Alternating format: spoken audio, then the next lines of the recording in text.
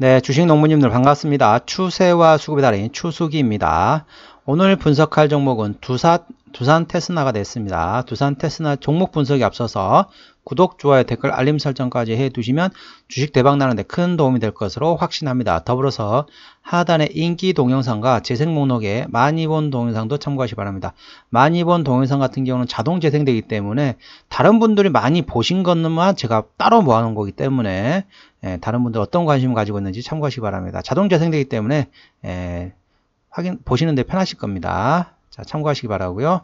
자, 두산 테스나 종목 분석 하겠습니다. 예, 이슈 먼저 말씀드리겠습니다. high-end applica, application 다각화가 매력적이다라는 리포트 제목입니다. 1분기 영업이익은 119억 원으로 시장 consensus를 하회했다. 상반기보다 하반기에 집중적으로 어, 하는데 차량용 성장과 모바일이 회복될 것으로 보인다. 2분기 실적은 매출액 755억 원, 영업이익 124억 원으로 전망되고 모바일 수요 부진 강, 부진 강도는 다소 약해질 것으로 예상된다. 다만 뚜렷한 실적 개선세는 2분기가 아닌 하반기부터 나타날 것으로 기대된다. 모바일보다는 차량용 반도체 실적 성장에 집중해야 한다. 2023년 반도체 생태계는 차량용 반도체 수혜 업체 매력이 부각되어 있고 모바일 외 하이엔드 차량용 PC향 포트폴리오를 보유하고 있다. 이런 리포트 제목이었습니다. 전반적으로 어, 차량용 반도체 조금 더 힘을 실어주는 그런 레포트 내용이었습니다.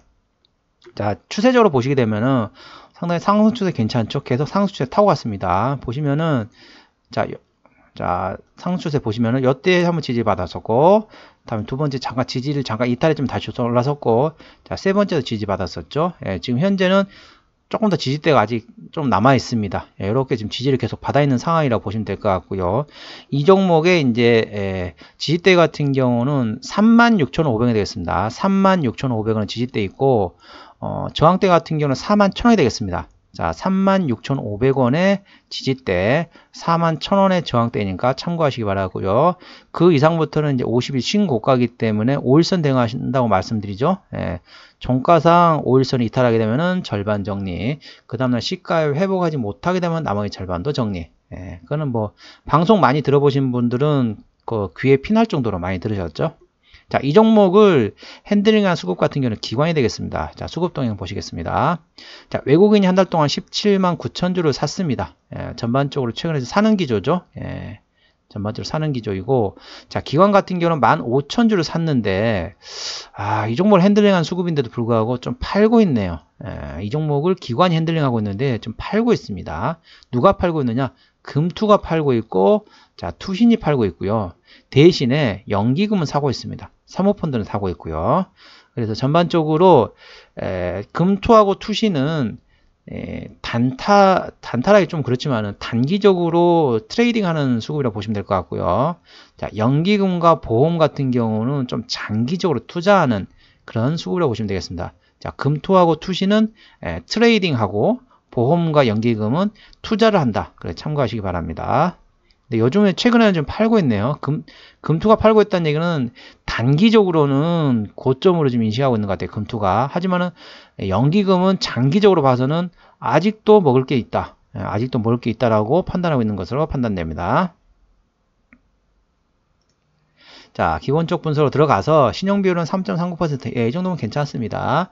예, 단발적인 이슈로 인해 가지고 급락하게 되면은 예, 신용에 의한 담보 부족으로 인한 음, 반대매 물량이 쏟아질 수 있거든요. 그 기준이 4%입니다.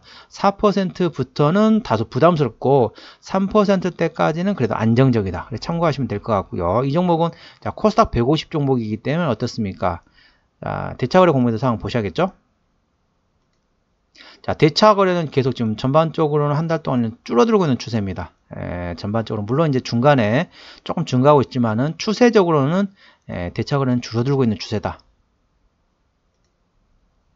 자, 공매도 상황 보시겠습니다. 공매도는 하루 거래량 중에 공매도가 얼마 차지하는지 그 비중을 나타내는 지표라고 보시면 되겠죠. 기준은 10%가 되겠습니다. 10%부터는 조금 확인해야겠죠. 하루, 이틀. 자, 이틀밖에 공매도가 10% 이상인 날이 이틀밖에 없습니다. 한 달 중에. 그 말은 뭐냐? 아직까지 대차 거래 아까 줄어나겠죠? 공매도도 지금 힘을 발휘 못하고 있습니다. 그 말은 뭐냐면은 어, 추가적으로 상승할 수도 있다. 연기금 쪽에서 보는 시각하고 약간 비슷한 것 같습니다.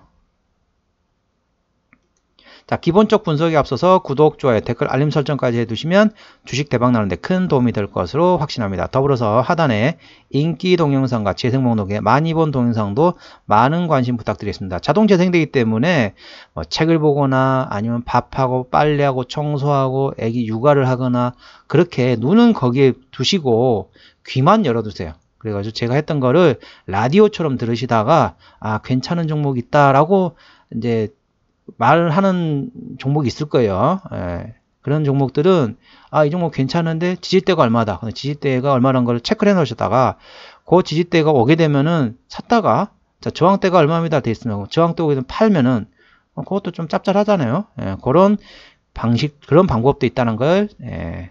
하나의 팁으로 말씀드리겠습니다. 라디오처럼 들어놓으세요 그냥.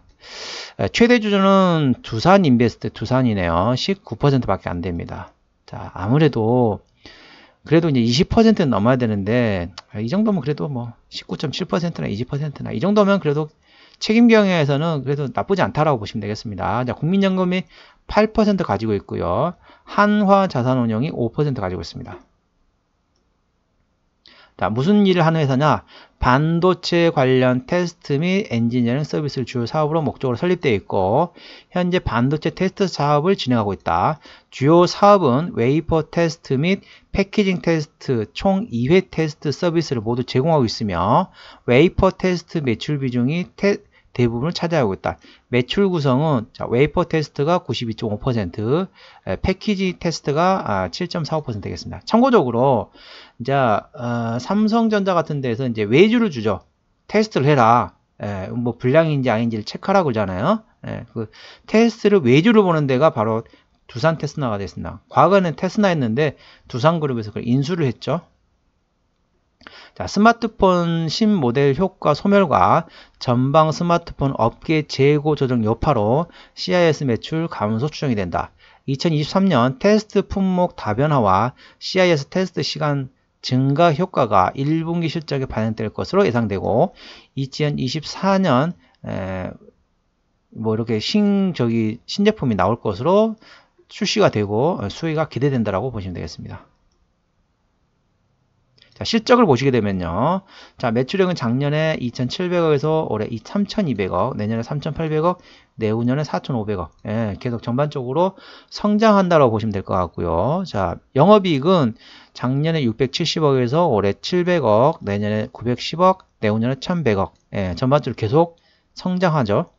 당기순이익은 작년에 523억에서 올해 544억, 내년에 711억, 내후년에 924억. 자, 분기 실적 보겠습니다. 1분기 때 영업이익이 119억 원이었거든요. 작년 1분기 때 150억이었습니다. 2분기 때는 작년에 106억에서 올해 153억. 예, 작년 동기 대비 거의 50% 정도 성장할 것으로 보이고요. 자, 3분기 때는 168억이 작년이었고 올해가 178억. 4분기 때는 248억, 243억. 예. 2분기 실적을 발표하게 되면은 어느 정도 올라갈 거예요. 근데 3분기 때는 작년하고 큰 차이가 없습니다. 168억, 178억이니까. 그러면은 이제 실적만 보고 판단한다면은 2분기 실적 발표하면 earning surprise라고 리포트가 나올 거예요. 그러면 그때 되면 한번 슈팅이 나올 겁니다. 예, 그 구간을 활용해가지고 좀 정리하는 게 어떤가. 3분기 때 실적은 작년하고 큰 차이가 없거든요. 그러니까 2분기 때 earning surprise인데 3분기 때는 어, 작년하고 비슷한 수준이다. 그러면 어떻겠습니까? 아이 3분기 때도 earning surprise 나와야지 그렇게 해야 되는데 earning surprise가 아니네? 그럼 어떻게 아유 팔아야겠다. 어, 그런 물량이 나올 수 있기 때문에 2분기 실적 발표하고 earning surprise 나오고 슈팅이 나오면 그거를 활용해 가지고 정리하시는 게 어떤가 싶습니다. 그리고 나중에 저점을 활용하고 다시 잡는 거죠. 자, 부채 비율은 20%, 아, 부채 비율은 137%입니다. 조금 높죠? 예, 유보율은 3,500%이기 때문에 재무적으로는 문제 안 될 것 같습니다. 자, 영업이익률 같은 경우는 20% 넘기 때문에 괜찮죠. 예. 그래서 EPS는 327원이 돼 있는데 지금은 조금 더 많이 올라갈 것 같아요. 예. 제가 봐서는 작년에 327원이고 지금 consensus가 안 나왔는데 예, 재작년 수준까지 나올 것 같아요. 자, 아, 1468원이죠. 자, 1468원 기준으로 해볼게요. 예, 제가 봐서는 이보다 좀 더 나올 것 같은데 1468원으로 valuation 보겠습니다. 1468원이면은 1500원 계산하면은 자 PER 한 20, 21 두세 배? 예, 이 정도로 보시면 되겠습니다. 아까 영업이익률이 괜찮기 때문에 현재 구간이 2만원에서 4만 2천원까지 두 배가 더 올랐잖아요. 100%가 올랐잖아요. 그러니까 두 배가 됐지만은 어, 현재 구간이 적정 수준입니다. 예, 고valuation 정도는 아니고 그렇다고 이제 저렴한 건 아니죠. 저렴한 건 아닌데 그렇다고 지금 고valuation이라고 말하기는 좀 애매해요. 지금은 적정한 수준이다. 예, 이 정도까지는 제가 이제 볼 수 있을 것 같다라고 보시면 되겠습니다. 자, 기업 개요로 가겠습니다. 기업 개요로 들어가게 되면 근데 아까 보셨다시피 내년도 실적을 좀 땡겨 오면은 PER은 좀 더 내려갈 겁니다. PER 한 15배에서 20배 그 사이가 되지 않을까 예, 이렇게 좀 예상이 되고 있고요. 아, 주로 실적은 어디서 나오느냐? 아까 말씀드린 것처럼 자, 웨이퍼 테스트가 92%, 자, packaging 테스트가 7.45%. 아, 그렇게 보시면 되겠습니다. 대부분 다 웨이퍼에서 나온다는 거죠. 웨이퍼 테스트. 최근의 자본금 변동 내역은 CB나 BW를 확인하는 건데 마지막 CB를 했던 게 2020년이네요. 그리고 무상증을 했었고요. 자, 그렇기 때문에 이 물량은 없다라고 보시면 되겠습니다. 3년이 지났기 때문에 물량은 거의 다 소화가 됐고 추가적으로 CB나 BW 가능성 그리 높지 않습니다. 왜냐하면 아까 유보율이 괜찮았기 때문에 유보율이 상당히 높았잖아요. 그렇기 때문에 CB나 BW를 할 가능성은 낮다. 예, 관련 자회사는 없다라고 보시면 되겠습니다. 자, 아까 예, 지지대 저항 때 아까 확인하셨죠? 예. 예, 두산 테스나에 대한 종목 분석이었고요. 구독, 좋아요, 댓글, 알림 설정까지 해두시면 주식 대박 나는데 큰 도움이 될 것으로 확신합니다. 더불어서 하, 어, 하단에 인기 동영상과 재생 목록에 많이 본 동영상도 참고하시기 바랍니다. 많이 본 동영상은 자동 재생되기 때문에 라디오처럼 들으시면서 예, 제가 괜찮다는 종목도 체크하셨다가 나중에 지지대에 활용해 가지고 어, 매수하는 방법도 있다는 걸 말씀드리겠습니다. 이상 추세와 수급의 달인 추수기였습니다. 감사합니다.